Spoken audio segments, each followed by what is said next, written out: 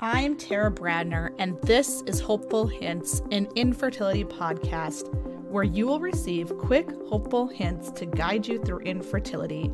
Here, you will find education, inspiration, and most importantly, find peace as you walk through this journey to fulfill your family vision.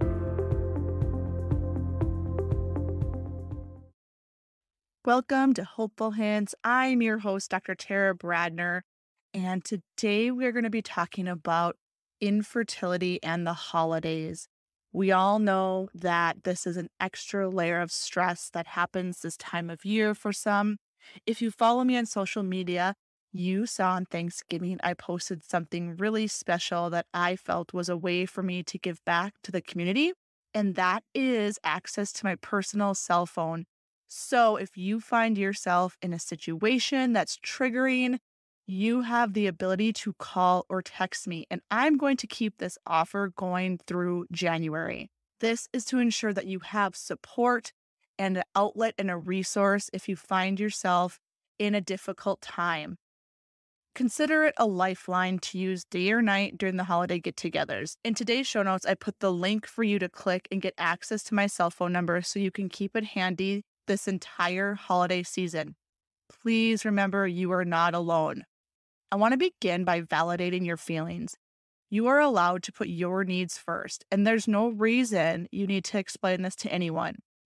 I hear this saying, and I think it's really fitting, but it goes like this You can be sad for you and happy for them at the same time. I think of this often when looking at pregnancy announcements and things like that that are triggering for me. It does not make you selfish going through infertility is extremely challenging and presents so many different emotions. I want to share a few hopeful hints for you to keep in mind this holiday season. I want you to pick and choose which events you accept invitations to when it comes to parties and holiday celebrations.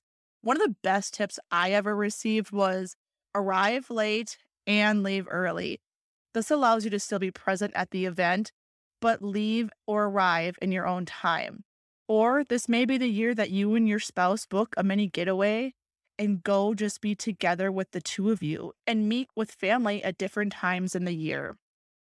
Another tip before you go, have some phrases ready to respond to those dreaded comments. It can be as simple as, That's a personal question that we are not talking about. How have you been? And flip the conversation.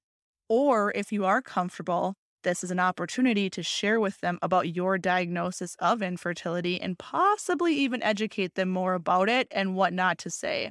Now, more than ever, is the time for you to create or lean into your support system. This may look different for everyone, but for some, it may be your family and friends who know about your situation and support you message them more, call them more, get together more this time of year. For others, it may be attending a support group, speaking with your trying to conceive sisters that you've connected with on social media, or connect with a coach. Having a coach on your team, especially this time of year, is truly an invaluable resource. Another tip is if you typically host or play a role in planning a holiday event, step back from that this year. Avoid taking on extra tasks and schedule more downtime, especially if you're going through infertility treatments. Spend less time on social media. There's going to be a lot of elf on the shelf pictures, Christmas concerts, children pictures, you name it. There's going to be an overwhelming amount of them. You can also snooze Facebook accounts for 30 days, which I found really helpful. Another tip that I found helpful is to sneak away to the bathroom, bedroom, or some private area and have a good cry or just take a moment alone to regroup. Run that water in the bathroom to cover up any crying, or better yet, when this happens, now is the time to leave the event, and that's okay. I want to remind you again if you find yourself in one of these situations or you just need extra support, please utilize my personal cell phone number that I've located in today's show notes and lean into me. I am here to help you through the holiday season and beyond. If you enjoyed today's show, please head over and hit subscribe or leave a review for Hopeful Hints and Infertility Podcast. Thank you so much for listening, and we'll see you back here next week, Tuesday.